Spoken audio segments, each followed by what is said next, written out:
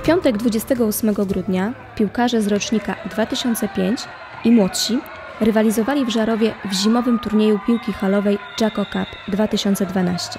Chcieliśmy wykorzystać przerwę świąteczną, noworoczną dla naszych młodych zawodników szkółki piłkarskiej, dlatego zorganizowaliśmy im turniej, na który przyjechały drużyny ze Świdnicy i z Wałbrzycha. Startuje pięć zespołów łącznie i jest okazja dla naszych najmłodszych zawodników, aby w tym okresie świąteczno-noworocznym pograli sobie z rówieśnikami i nabyli kolejnych doświadczeń. Do rywalizacji przystąpiło pięć zespołów, po dwa zespoły szkółki piłkarskiej działającej przy Gminnym Centrum Kultury i Sportu w Żarowie oraz Akademii Piłkarskiej w Świdnicy, a także jeden z Futbal Akademii Wałbrzych. Najmłodsze grupy e, grają w e, turniej, e, jest to grupa Żaków.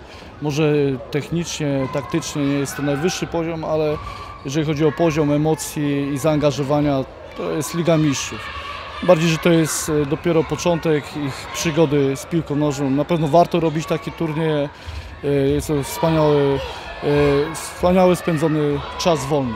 Zespoły rozegrały mecze, każdy z każdym, jednak na koniec nie liczyła się klasyfikacja końcowa, gdyż każdy zespół został nagrodzony w jednakowy sposób. Szczegółowe wyniki znajdują się na stronie internetowej Gminnego Centrum Kultury i Sportu w Żarowie.